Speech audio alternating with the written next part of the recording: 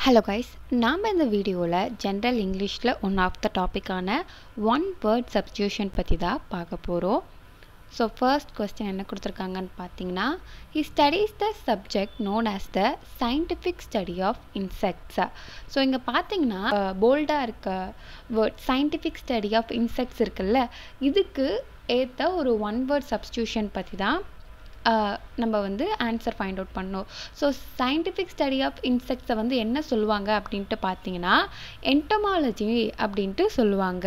So நம்ம ஒரு ஒரு ஆப்ஷனுமே மீனிங் என்னன்ட்டு பார்க்கலாம் என்டமாலஜி அப்படின்னா என்னதுன்னா சயின்டிஃபிக் ஸ்டடி ஆஃப் இன்செக்ட்ஸ் தான் என்டமாலஜின்னு சொல்லுவாங்க.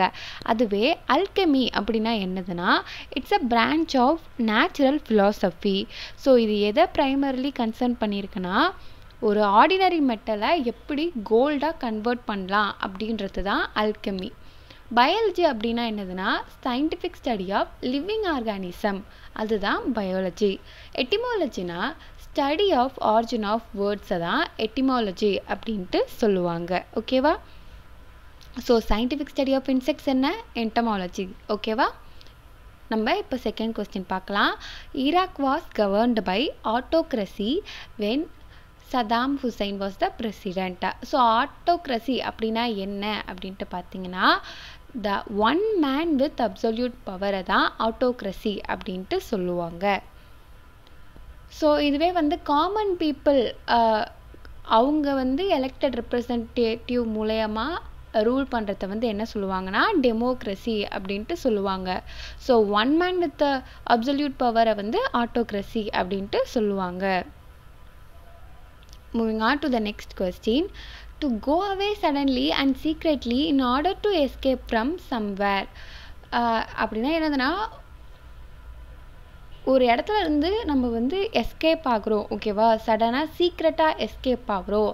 அதை என்ன சொல்லுவாங்கன்ட்டு பார்த்தீங்கன்னா ஆப்ஷன் ஏ அப்ஸ்காண்டுன்னு சொல்லுவாங்க. ஸோ இதை நீங்கள் கேள்விப்பட்டிருப்பீங்க. இப்போ நீங்கள் வந்து ஒரு வேலை செய்கிறீங்கன்னா அந்த இடத்துல இருந்து நீங்கள் வந்து எதுவுமே சொல்லாமல் சீக்ரெட்டாக எஸ்கேப் ஆகிறத அப்ஸ்காண்ட் அப்படின்ட்டு சொல்லுவாங்க. வேனிஷ்னால் என்னதுன்னா கம்ப்ளீட்டாக டிஸப்பியர் ஆகிறது. ஒரு அடையாளமே இல்லாமல் கம்ப்ளீட்டாக டிஸப்பியர் ஆகிறது தான் வேனிஷ் அப்படின்ட்டு சொல்லுவாங்க. எஸ்கவேட்னா to dig up or remove something from the ground கிரவுண்டில் இருந்து எதாவது தோண்டி எடுக்கிறது தான் எக்ஸ்கவேட் அப்படின்ட்டு சொல்கிறாங்க எக்ஸ்ட்ரா டைட் அப்படின்னா என்னதுன்னா ஒரு அக்யூஸ்டு பர்சனை ஜுரிஸ்டிக்ஷனில் ஹேண்ட் ஓவர் பண்ணுறது தான் எக்ஸ்ட்ரா டைட் அப்படின்ட்டு சொல்கிறாங்க moving on to the next question many people fought to put an end to slavery during the civil war நீங்கள் இந்த மாதிரி கொடுத்துருந்தா ஜஸ்ட் அந்த போல்ட் பண்ணியிருக்க வேர்டுக்கு என்ன மீனிங்கோ அதை தான் பார்க்கணும். புட் அண்ட் என் டூனா உன்னை கம்ப்ளீட்டாக ஸ்டாப் பண்ணுறாங்க அப்படின்ட்டு அர்த்தம். அப்போ ஆப்ஷன் ஏ அபாலிஷ் தான் correct answer so அபாலிஷ்னா to put an end to அப்சர்வ்னா என்னதுன்னா to take in liquid or gas absorb பண்ணுறது அப்படின்ட்டு சொல்லுவாங்கள்ல அதான். அபைட்னா என்னதுன்னா ஒரு ரூல் இல்லை லாவை மதிக்கிறது ஒபே பண்ணுறது தான் வந்து அபைடுன்ட்டு சொல்லுவாங்க. அப்டெக்ட்னா யாரையாச்சும் கடத்துறது தான் அப்டெக்ட்ன்ட்டு சொல்லுவாங்க. டு கிட்னாப் சம் ஒன் ஓகேவா ஸோ அப்போ டு புட் அண்ட் என் டூனா அபாலிஷன் அர்த்தம். நெக்ஸ்ட் கொஸ்டின் பார்க்கலாம். Study of sound and sound வேஸை என்ன சொல்லுவாங்க அப்படின்ட்டு பார்த்தீங்கன்னா ஆப்ஷன் டி அக்கௌஸ்டிக்ஸ் தான் கரெக்ட் ஆன்சர் அக்கௌஸ்டிக்ஸ் தான் study of sound and sound waves அப்போ பாட்னினா என்னதுன்னா branch of biology that deals with study of plants நமக்கு தெரியும்ல ஸ்டடி ஆஃப் பிளான்ஸ் வந்து botany study of animal zoology பார்த்தோம்.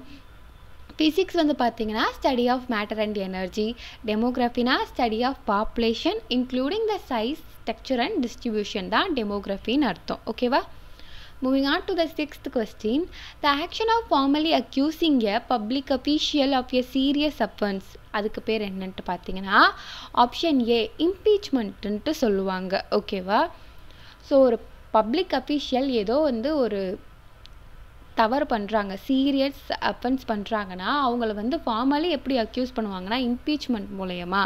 அப்படி தான் சொல்லுவாங்க ஸோ கண்டம்னேஷன்னா ஒரு ஸ்ட்ராங் டிஸ்அப்ரூவலை இல்லைனா ஒரு கிரிட்டிசிசத்தை கொடுக்கறது தான் கண்டம்னேஷன் ஓகேவா சம்மான்னா இப்போ ஒரு கோர்ட்டில் வந்து சம்மான் கொடுப்பாங்க தெரியுமா? கோர்ட்டில் ஆஜராக சொல்லுவாங்க தெரியுமா? அதுதான் summon. To call or request someone to come or appear தான் சம்மான். அலிகேஷன்னா எந்த ஒரு ஆதாரமுமே இல்லாமல் ஒரு ஸ்டேட்மெண்ட் கொடுக்கறத அலிகேஷன் அப்படின்ட்டு சொல்லுவாங்க.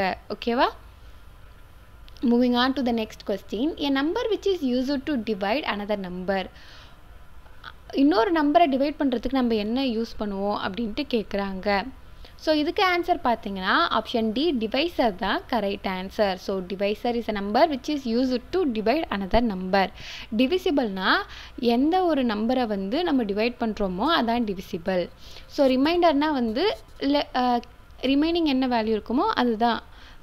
ரிமைண்டர் கோஷன்னா ரிசல்ட் ஆஃப் த டிவிஷன் இப்போ நம்ம ஒரு சிம்பிளாக ஒரு கேல்குலேஷன் எடுத்துப்போம். ஸோ நம்ம வந்து டுவெல்ல வந்து டிவைட் பண்ணுறோம் வச்சுக்கோங்களேன்.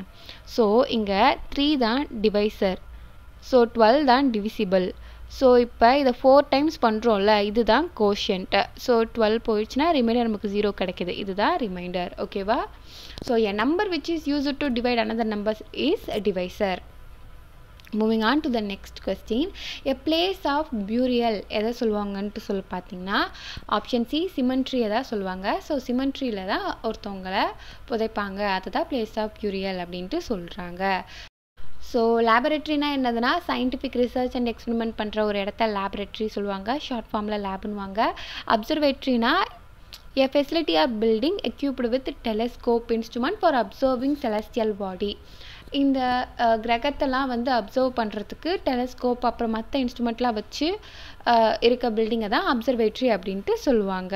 ஸோ பில்டிங்னா ஜஸ்ட் ஒரு ஸ்ட்ரக்சர் வித் ரூஃப் அண்ட் வால்ஸை பில்டிங்கை சொல்கிறாங்க moving on to the next question a person who loves or collect books so book படிக்கிறாங்க அவங்க புக்கை வாசிக்கிறாங்கல்ல அவங்க வந்து பார்த்திங்கன்னா பிப்ளியோஃபைல் அப்படின்ட்டு சொல்லுவாங்க. அவங்களுக்கு வந்து புக்ஸ் கலெக்ட் பண்ணுறது ரொம்பவே பிடிக்கும். ஸோ மித்த இருக்கிறத பார்க்கலாம். ஆங்கிலோஃபைல் அப்படின்னா வந்ததுன்னா who is fond of admires English culture or English people இந்த இங்கிலீஷ் கல்ச்சர் இங்கிலீஷ் பீப்புளை வந்து பிடிச்சவங்க தான் ஆங்கிலோஃபைல் அப்படின்ட்டு சொல்கிறாங்க ஸோ ஆங்கிலோனாலே தெரியும்ல? இங்கிலீஷ் ஹீலியோஃபைல்னால் uh, வந்தது a person or organism that thrives or attach to sunlight sunlight attract ஆகிறவங்க தான் ஹீலியோஃபைல் அப்படின்ட்டு சொல்லுவாங்க.